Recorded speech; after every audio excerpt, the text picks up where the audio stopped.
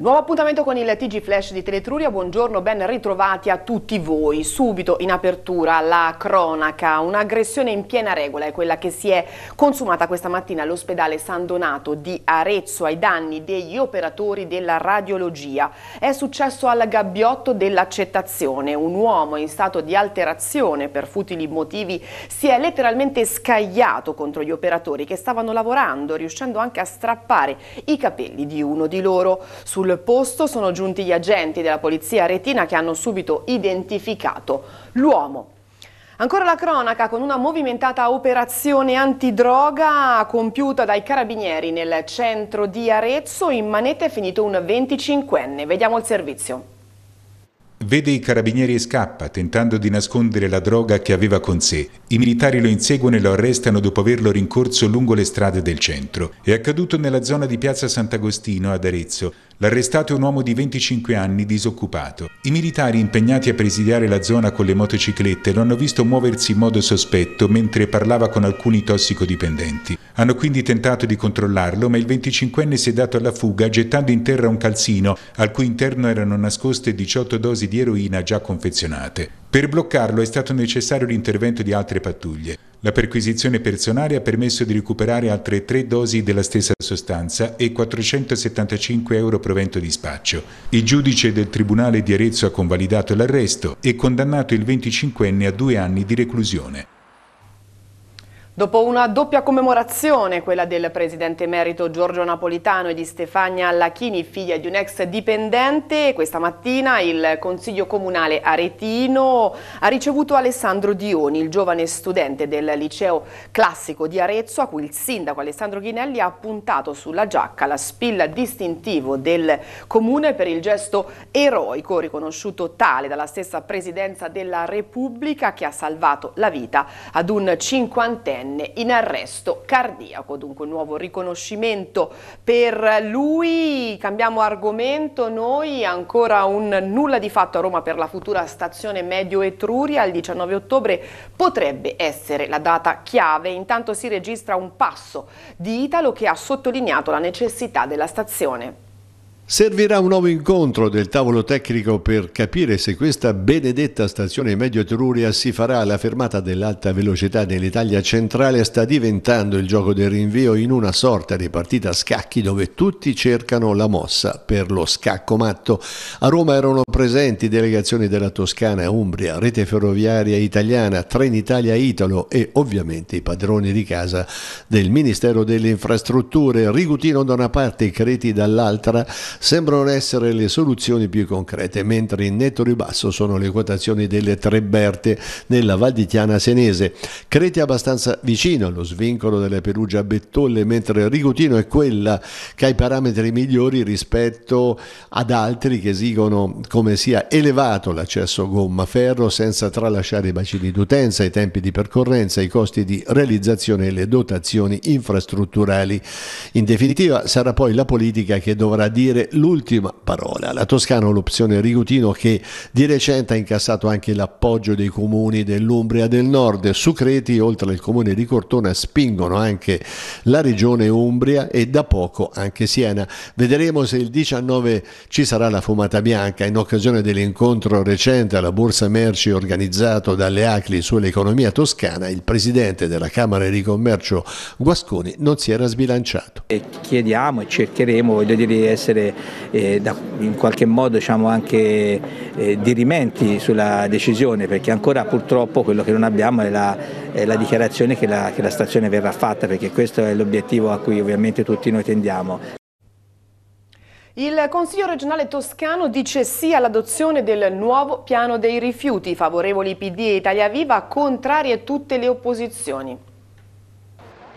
Superamento delle discariche, raccolta differenziata che entro il 2023 dovrà raggiungere l'80%, individuazioni di alcuni impianti innovativi, autosufficienza di Ognato sono alcuni dei punti principali del nuovo piano dei rifiuti adottato a maggioranza dal Consiglio regionale al termine di un intenso dibattito in aula.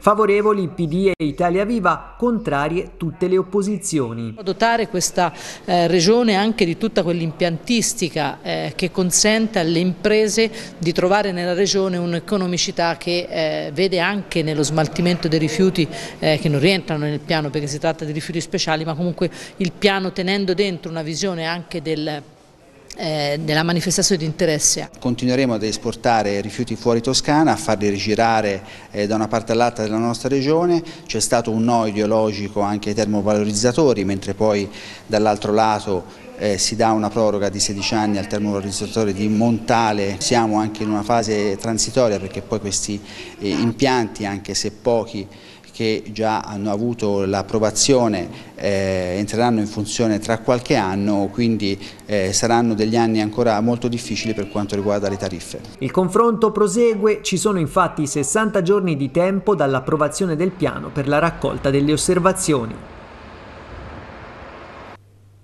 Cooperazione con questa modalità il nuovo direttore Marzia Sandroni lavorerà nella zona distretto sociosanitario del Casentino.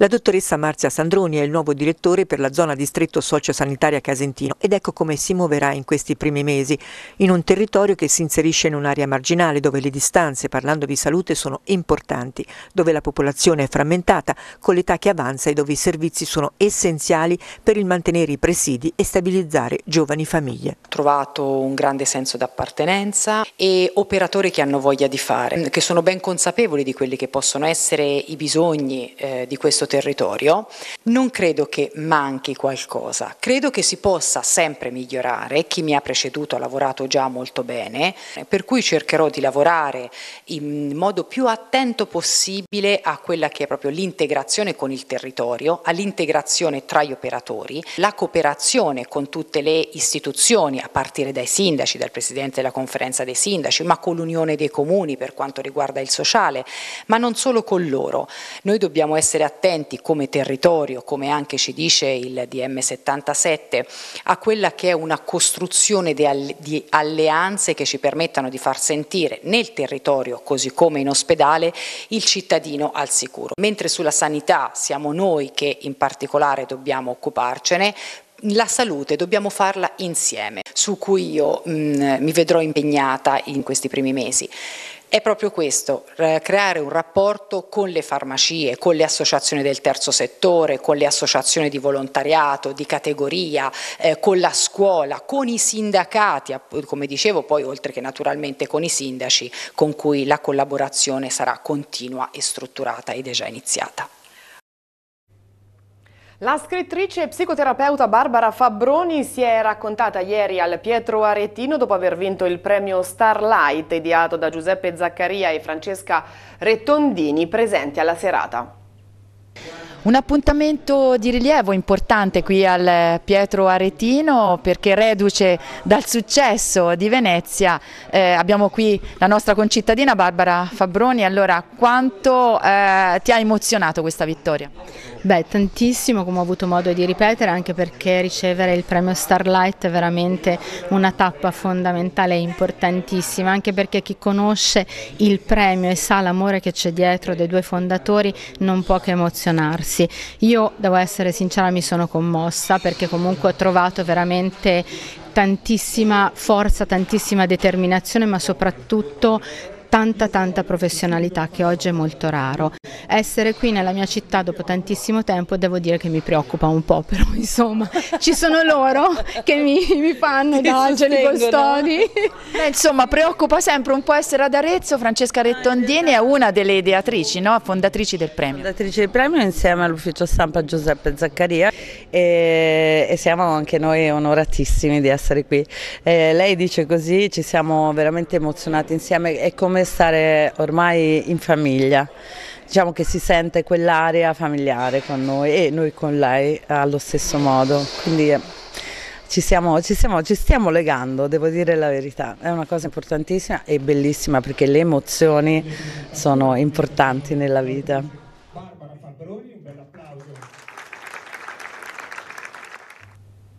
Da Arezzo andiamo ad Anghiari, da venerdì a domenica torna il Festival dell'Autobiografia, evento promosso e organizzato dalla Libera Università dell'Autobiografia appunto di Anghiari. Vediamo. Ad Anghiari si avvicina il fine settimana della LUA, la Libera Università dell'Autobiografia. Un weekend, quello dal 29 al 1 di ottobre, sono i 25 anni della autobiografia. Sì, devo dire che ormai la Libera, dunque l'autobiografia di Anghiari, riesce sempre più a investire sulla propria immagine, sui contenuti, sui rapporti, che naturalmente ormai si è creato un gruppo di persone che qui ad Anghiari, ma anche una rete su tutto tutto il territorio nazionale. Possiamo dire che questa è un'edizione speciale? Sì, l'edizione speciale perché quest'anno sono 25 anni di vita dell'associazione e di presenza ormai consolidata in questo territorio ma anche nel territorio nazionale, quindi è una festa ancora più più grande se vogliamo perché il progetto è nato grazie all'incontro tra Saverio Tutino e Lucio Demetrio ancora vive, eh, va cogliere quel desiderio che eh, ormai mi sembra diffuso di eh, incontrarsi con la propria storia attraverso la scrittura. E anche in questa occasione siamo veramente orgogliosi di essere presenti in questo 25 anniversario a dare ecco, le, la, il nostro aiuto a che questa manifestazione si rinnovi e continui ancora per lungo tempo.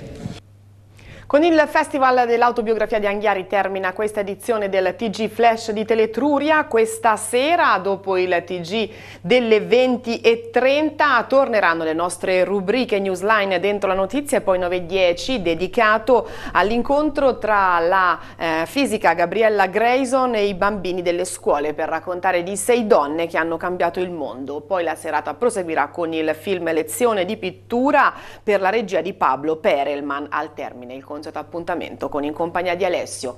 Termina qui il TG Flash, grazie a tutti voi.